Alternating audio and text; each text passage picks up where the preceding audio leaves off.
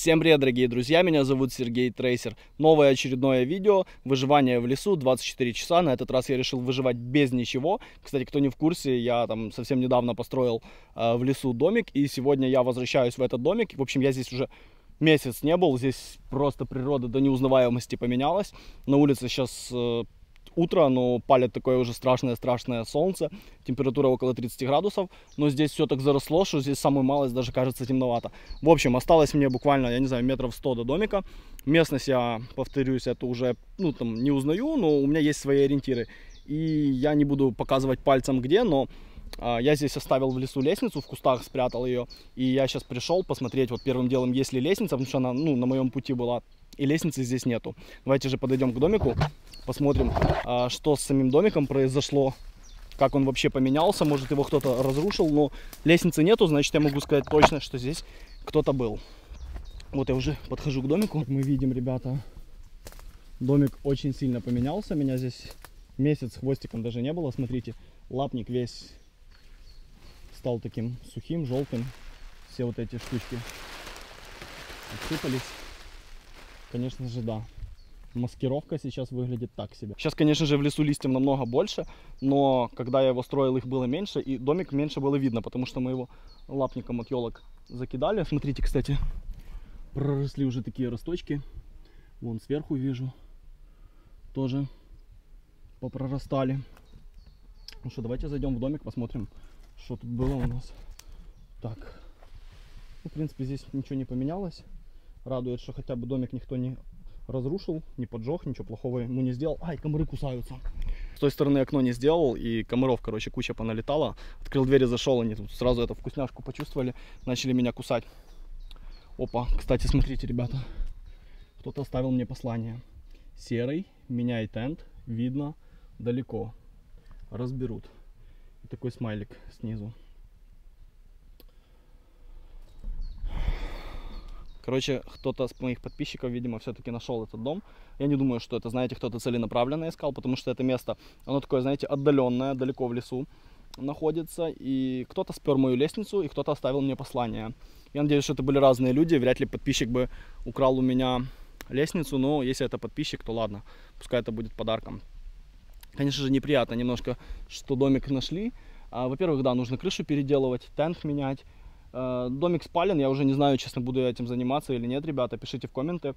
А, Потому что у меня были планы, как этот домик можно улучшить. Там окно еще не сделал, еще кучу всего. Ну ладно, не будем отвлекаться от темы нашего сегодняшнего ролика. Сегодня я пришел сюда для того, чтобы здесь провести 24 часа. Я с собой не брал ничего. У меня есть только нож, спальник есть. И в принципе все. То есть вот такими подручными средствами я буду выживать. Здесь есть рядом родник, я его давно уже приметил. Я в роднике наберу воду, то есть питьевая вода у меня будет. Осталось только как-то добыть еды какой-то, кстати. Здесь очень такая большая влажность в этом лесу. Я думал, что будут грибы. И вот, возможно, кстати, да, кто-то искал грибы и нашел мой домик, потому что грибники это такие люди, они как бы каждый метр любого леса истопчут. Хотя, ну, если бы целенаправленно кто-то искал бы мой домик, то он бы, наверное, никогда в жизни его не нашел бы, потому что, ну, я же все-таки старался, подбирал место, чтобы оно, знаете, таким удачным было. Так вот, я пока сюда шел, рассматривал, я, конечно, в грибах не сильно разбираюсь, но как белый гриб выглядит, я знаю, и грибов, в принципе, нету, хотя влажность здесь очень большая. Но все-таки еще, знаете, не сезон немножко, наверное, грибов, поэтому их нету. Я очень сильно рассчитывал на то, что я насобираю каких-то грибов и пропитаюсь как-то, но придется сейчас, наверное, идти. Тут есть рядом недалеко озеро, и в озере уже ловить рыбу какую-то. Давайте еще раз осмотрим мой домик. Здесь бутылки с водой, когда я там на строительство приезжал, оставлял. Здесь, конечно же, такой у меня бардак рабочий остался. Я еще не прибрался в домике. Но сегодня придется, наверное, прибраться, потому что в этом домике я планирую впервые, кстати, ночевать. В общем, что, выдвигаемся, ребята, уже на озеро. Кстати, ребята, смотрите, что я еще обнаружил. В моем домике, оказывается, пока меня не было, кое-кто поселился. Здесь осы живут. Там, если вот так присмотреться вниз, вот так, снизу точнее, то там видно, они ползают. Ну, сейчас где-то попрятались. Все, ребята, выдвигаемся на озеро, потому что вода у меня 100% будет, а вот еда под большим вопросом. Итак, ребята, мы пришли на такой вот красивый став, я бы даже сказал, самую малость секретный став Виталика Игнатюка. Ну, на самом деле, он Виталику Игнатюку не принадлежит. Я говорю Виталика Игнатюка, потому что мне это место когда-то показал Виталик Игнатюк. Мы с ним здесь полтора года назад снимали видос. Тогда мы ловили рыбу, раков и мидий здесь. Не помню, или поймали мы тогда рыбу, но раков пару штук мы поймали и пару мидий. Как потом оказалось, те мидии, которые мы хавали, ну это не мидии, это такие, короче, вот эти э, речковые ракушки. Их кушать лучше не нужно, потому что ими можно очень отравиться сильно. Но нам повезло, мы тогда не отравились, я тогда заболел, потому что холодная вода была, я тогда зашел в воду. Э, короче, такие дела. Ну что, сейчас нужно выстрогать какую-то палку. Я думаю, что палкой какой-то попытаюсь какую-то рыбешку поймать. И, короче, можно уже залазить будет в воду. Давайте первым делом сейчас, да, пойдем и вырежем какую-то палку. В общем, ребята, нашел такую палочку. У меня в ноже есть вот такая вот мини-пилка. Она хоть маленькая, но очень острая. Сейчас быстренько выпилю и сделаю такую палку. Забыл, как она правильно называется. Ну, короче, там четыре конца расходятся, и ты такой ловишь рыбу. Не самая удобная поза, чтобы пилять. Поэтому даже может показаться, что пилка тупая, но пилка на самом деле очень острая. Не самая удобная поза была для пиляния, но выпилял. Сейчас думаю, еще где-то тут ее немножко нужно укоротить, и будет такая вот острога. Кстати, да, вспомнил, как называется, острога, оказывается. Да, все-таки за годы немножко пилочка затупилась, потому что раньше она прямо вот так, как масло ножом резала. Все. Готово. Вот такая вот палка. Сейчас еще давайте вот это обрежем. Все. Теперь нужно взять нож и вот тут получается вот так разделить на 4 части и внутрь вставить какой-то типа колышек, чтобы оно вот так распирало и заточить. И заходим в воду. Кстати, да, можно было, наверное, какую-то потоньше палку выбрать. И аккуратненько ходим. Видим, когда есть рыбешка, мы ее такие класс и ловим. Честно сказать, я пробовал так, у меня еще никогда не получалось, но попробуем. В принципе, день у нас большой, времени много. И вот как-то вот такими движениями. Все. В принципе, смотрите, ребят. Вот так вот получилось. А, нужно затащить вот эти кончики и внутрь что-то вставить, чтобы оно расклинивало это все дело, чтобы оно шире было, чтобы э, там могла поместиться рыба. То есть рыбу мы как бы накалывать не будем, она должна будет внутрь сюда попасть, и мы ее там типа зажимаем за счет того, что тут сужение будет. Ну и она, по идее, должна там будет сидеть. Дай человеку рыбу, и ты его один раз накормишь. Дай ему вот такую вот острогу, и ты накормишь его на всю жизнь. В общем, там в оригинале, конечно, с удочкой, но я думаю, большой сути это не поменяет. Сейчас попытаемся проверить вот эту пословицу, народную мудрость. Э, кстати, в воду первый раз за все лето захожу. Вода немножко прохладная, хотя было очень жарко. Став этот очень маленький, я думал, он должен был бы прогреться. Ну, в принципе, она такая терпимо холодная. Прошлый раз, когда я здесь ходил, это было начало весны. Я туда долго ходил, мы долго ловили, и, короче, у меня уже в тот день на вечер поднималась температура. Надеюсь, сегодня не заболею, потому что тепло. В общем, ребята, тут, кстати, такие скользкие чуть-чуть камни. Сейчас немножко углублюсь, и надо как-то вот так ходить. И когда видишь, плывет рыбешка, ты такой, класс! Если ты четко попал, она получается вот, вот так сюда попадает и вот тут зажимается. Ну, повторюсь еще раз, у меня так ни разу еще не получалось поймать рыбешку. Холодно. А -а -а, холодно. Знаете, ребята, люди делятся на несколько типов. Есть те, которые могут спокойно заходить в воду. А я, например, всегда на всех пляжах всегда с разбегу заходил. Потому что вот это когда ты. Даже вода вот сейчас она вроде теплая, она вот так плавно поднимается. Вот чем ближе э, к яйцам поднимается, тем прохладнее становится. Вот сейчас заходить очень-очень стрёмно. Прыгать в воду не хочется, потому что здесь часто где-то торчат какие-то камни. Думаю, ребята, надо двигаться а, в ту сторону. Под камыш где-то, там под камышом, наверное, больше а, рыбы водятся. Так, я, наверное, слишком глубоко зашел, надо где-то помельче найти. Надо где-то хотя бы, чтобы вода чуть выше колен была. Сейчас найду более-менее такое удачное место. И будем ловить рыбеху. Как говорится, ловись рыбка большая и маленькая. Блин, по этим камням стрёмно реально ходить. О, вот тут нормально. Вот тут самый оптимальный вариант. Не знаю, стоит ли ходить, наверное, нужно стоять и ждать, чтобы рыбешка сама проплывала. Давайте представим, что рыбешка проплывает, я такой, клоп! И достаю, она тут, короче, такая сидит. Но рыбешки нету. В общем, ребята, прошло минут 10. И я, честно говоря, еще ничего не поймал. А, проплывала одна рыбешка, но я даже в нее, короче, не тыкал, потому что а, как-то долго мозги соображали, что надо вот бить, там ее прицелиться еще. И, короче, не получилось у меня. В общем, я думаю, наверное, стоит вот эту тему выбросить и вспоминать детский опыт, как э, в детстве мы руками ловили рыбу. То есть нужно нагнуться вот так и по дну аккуратненько вот так руками идти, идти, идти, идти. И там где-то может сидеть какая-то рыбешка. и ты ее такой клац, руками берешь и ловишь. Короче, все. А, пословица вот эта со строгой, которую я переделал немножко, она не совсем работает. Возможно, была пудочка, был бы другой результат. Но у нас же все-таки дикое выживание без ничего. Все, ребята, есть первый улов. Смотрите, вот такой вот карасик. Сколько прошло? 3-4 минуты буквально, да? То есть острогой я ну, минут 15-20 ловил, ну 20 вряд ли. Короче, вот такой вот результат.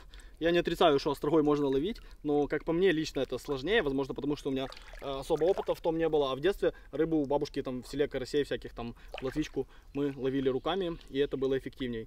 Вот так он жадно глотает воздух. Ну все, братанчик, ты будешь уже сегодня у меня... Блядь! Сука. Короче, это, что-то он мне слишком спокойным показался, дернулся, и, короче, потеряли мы улов. Ну что, продолжаем ловить рыбу. Жалко, конечно же. Я уже как-то обрадовался, думаю, знаете, одного, два, три карася можешь поймать, и, в принципе, уже как бы, ну, там, на сутки хватит. Типа, ну, не то чтобы супер наесться, но у нас же, типа, выживание, мы же не обжирание, а выживание снимаем.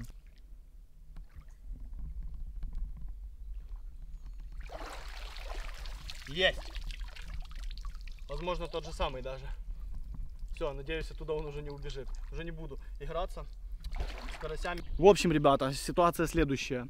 24 а, нон-стоп мы не снимаем, потому что а, камера это очень быстро садится. У нас много запасных аккумуляторов, но все равно они очень быстро садятся. Иногда приходится экономить как-то а, батарею. Короче, ходили мы с оператором, ходили. Он как раз тогда аккумулятор менял.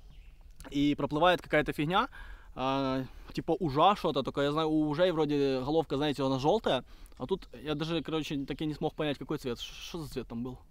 Непонятно. Короче, а, суть в чем, что оператор сразу же вылез на берег и сказал, я в воду больше не полезу. Мне, честно говоря, тоже стрёмно немножко на воду лезть, но одного карасика нам будет очень мало, поэтому сейчас давайте, может, пока эти штуки-дрюки тут плавают, мы на другую сторону где-то перейдем, и где-то я еще чуть-чуть под берегом похожу. Еще хотя бы, вот я не знаю, хотя бы одного карася поймать, чтобы нам с оператором по одному было, и, в принципе, уже как-то можно выживать. В общем, ребята, с рыбой не очень задалось, но есть такие вот рачки. Же рака? Сейчас тут между камней руки засовываю и ищу раков. Такие щели они такие любят под камнями. О, вот еще один нашелся. Маленький, правда, но таких пару десятков, если поймать, то можно очень хорошо даже наесться. Так, где тут еще у нас есть норы? Ага, блядь, страшно. Когда глубоко руку засовываешь, то страшно немножко. Так, давайте их там будем выкуривать.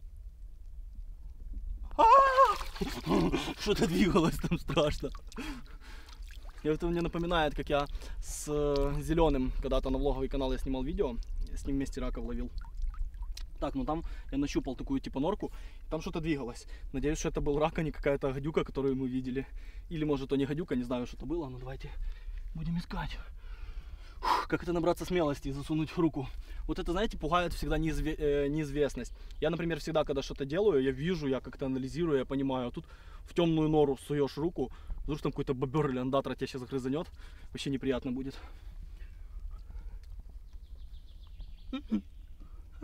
А, это камень был, я его подвигал, господи, испугался. Так, давайте где-то в другую сторону зайдем еще.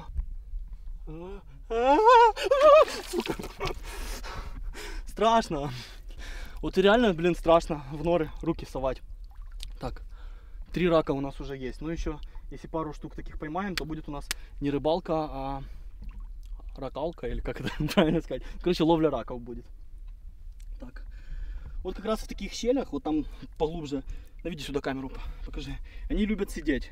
Но туда в неизвестность, вот так засунуть руку, вдруг сейчас какая-то гадюка тоже вылезет. Стремная картина. Страшно. Так, надо как-то передвигаться дальше. В общем, ребята, у моего оператора, когда он увидел раки, глаза стали вот такие, знаете, как рубли металлические, гривны украинские, старые, такие большие. Короче, он залез ко мне в воду, мы начали вместе ловить раков. А, секретные места не такие уж секретные, нашли такую бутылку и начали их в бутылку собирать. Сейчас вот высыпал их, чтобы показать наш улов. Ну, не знаю, десятка-полтора, наверное, раков есть тут. Давайте посчитаем. Раз, два, три, пять, семь, Куда уполз?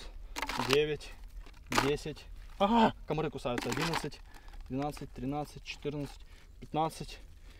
Ну, даже около 20 раков, ребята, мы нашли. Короче, 15, и тут штук 5-6. В общем, все. Думаю, можно уже искать родник, профильтровать где-то воду, потому что не очень хотелось бы с этого озера брать воду. Сейчас еще наберем чуть водички, чтобы раки дольше пожили. И можно возвращаться, так сказать, на базу и варить уже раков. Давайте еще чуть-чуть. А, получается, да, у нас раки и один карасик есть. Правда, не знаю, нужен ли нам карасик при таком количестве раков. Наберем капельку водички.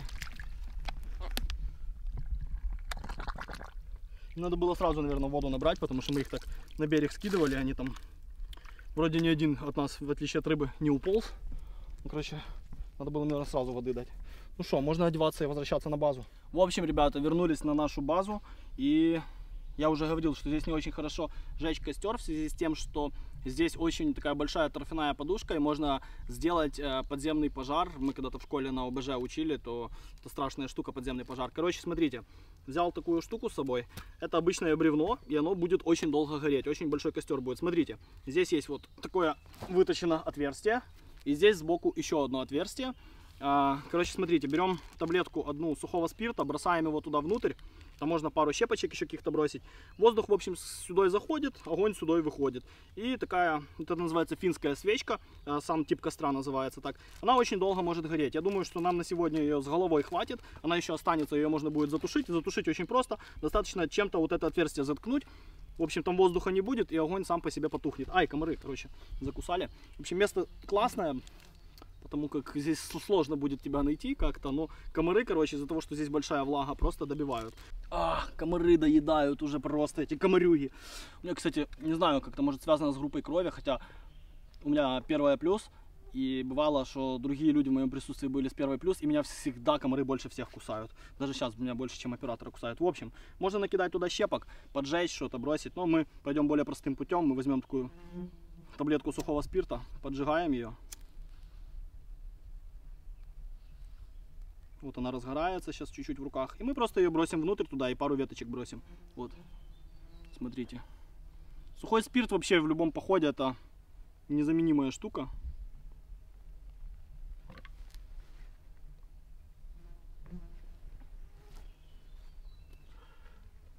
Сейчас оно разгорится немножко. Я попрошу оператора, он вам покажет, как там все дело внутри выглядит.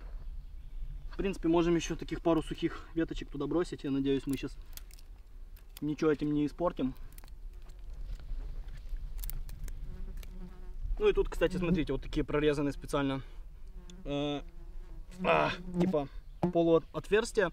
Когда сверху поставим казан, чтобы э, ну, пламя куда это выходило, чтобы там огонь сам себя не душил. В принципе, даже ничего подкидывать не надо. Можешь снять туда внутрь. Показать ребятам. Мне не очень видно. Ну давайте я сейчас на телефон сниму. Вот так вот все, ребята, внутри выглядит. И если мы закроем вот это отверстие, то все потухнет.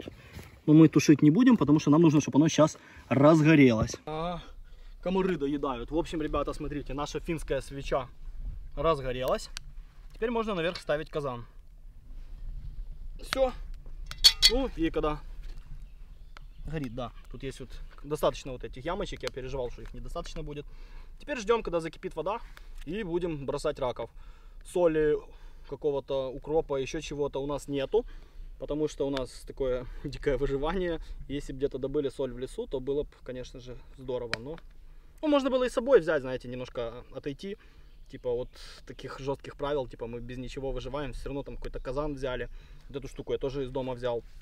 А, ну ничего страшного, я думаю, раки будут достаточно съедобными и без соли. В общем, ребята, вода не то чтобы кипит, она тушится. Видимо, из-за того, что тут э, такой маленький огонек, поэтому она не булькает. Надо было все-таки сверлить еще одно отверстие. Пальцем проверили, вода очень-очень горячая, практически кипит. Но я думаю, ничего страшного не будет, поэтому... Ай, давайте еще раз сольем всю воду и засыпаем всех раков сюда оптом. Ух. Ну, все. Жалко, что нету, конечно, соли и э, не петрушки, а укропа какого-то. Вот побольше укропа в раке добавляешь, такой сразу и запах, и вкус появляется. Ну, на всякий случай, наверное, накроем крышкой. Пускай они не варятся, а тушатся. А мы подождем немножко. В общем, ребята, если сделать тишину и прислушаться, то я слышу где-то там комары либо пчелы, но еще как бы по листикам слышно, что начинается маленький дождик. дождик. Преимущество такого костра, а, что его можно просто вот так, смотрите, взять. Главное сейчас казан не перевернуть.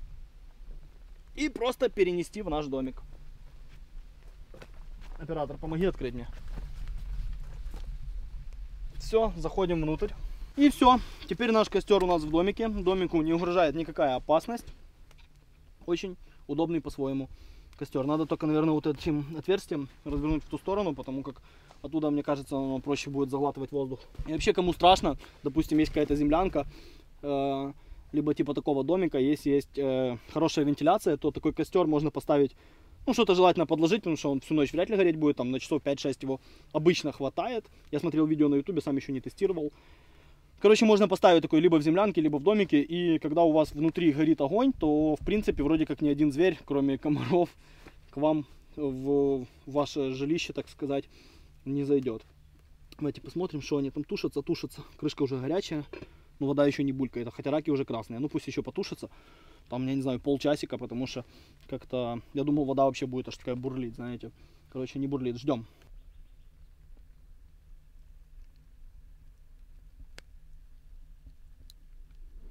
В общем, ребята, по поводу дождя была немного ложная такая тревога. Наши раки уже закипели. Не то, что затушились, а реально закипели. Там уже все бурлит. Смотрите, раз, два, три. А, такие уже красные. Можно, короче, их, наверное, хавать.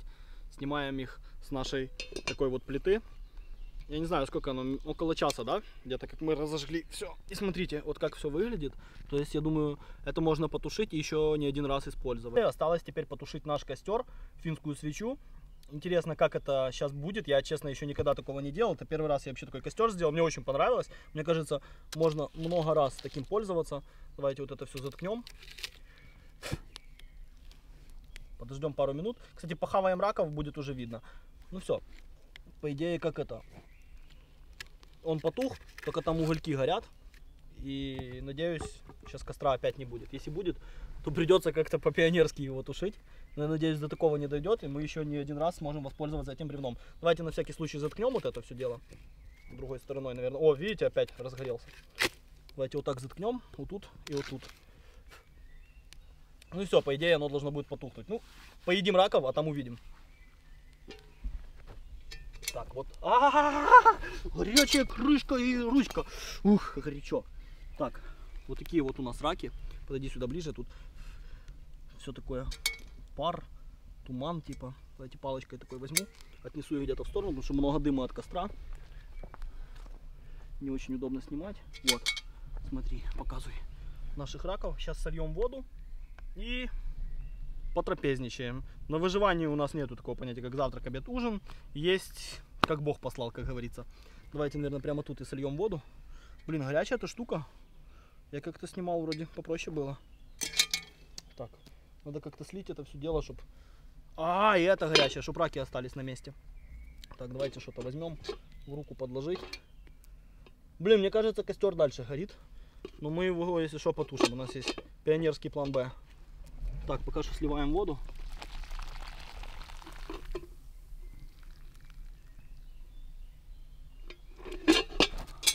Рыбу решили готовить не будем, потому что у нас, в принципе, достаточно раков. Хотя, когда они сварились, их уже как-то в этом казане, наверное, казан просто очень большой, не так уж много, кажется. Но я думаю, нам на двоих хватит с головой. Хотя на одного было бы это все куда кошерней. Кстати, ребята, напишите в комментарии, затушится костер или нам придется его все-таки поливать водой. А, комары закусали, смотрите, сколько их тут летает. Такое ощущение, что они сейчас съедят нас. Только затушили костер, сразу меньше дыма. Ну, они, конечно, никуда не пропадали, но сейчас как-то более люто начали атаковать. В общем, снимаем пробу. Конечно, раков немного, придется все вот эти клешни есть, маленькие клешни. Хотя, когда много раков, я, например, не очень люблю такие мелкие вот эти штуки хавать. Помнятся времена, когда нам было лет, ну, мне лет 12 было, это 16 лет назад было. В селе у бабушки у нас там речка есть, не помню, как она называется. Был какой-то такой период, года 2-3, там всем селом их просто массово истребляли этих раков такой браконьерский метод был, хотя я не, не знал тогда, что там хорошо, что плохо, это сейчас все таки уже умные стали. И мы такой штукой, палка палкой, тут сетка и снизу такая цепочка, мы это называли волок. И мы этим волоком ловили мешок, два, три бывало в день. Мы были мелкими такими шкетами.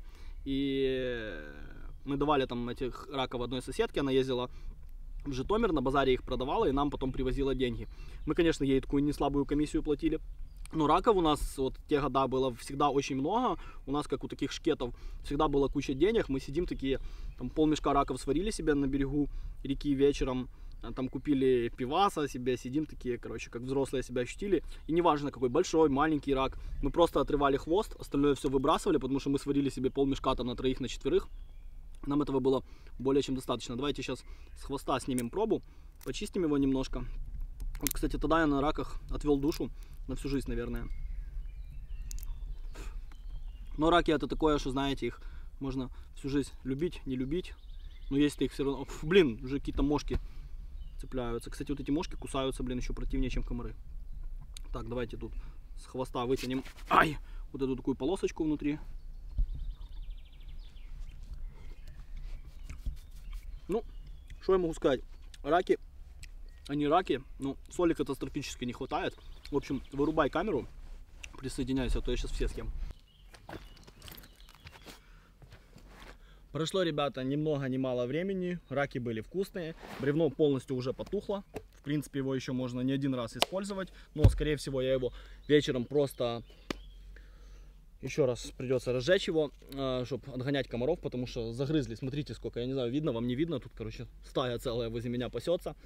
А, в общем, ну, взял с собой еще спальник, конечно же, ну, не потому что боялся замерзнуть, а, а для того, чтобы укрыться как-то от комаров. И в конце ролика, кстати, ребят, э, хочу... Что шумит?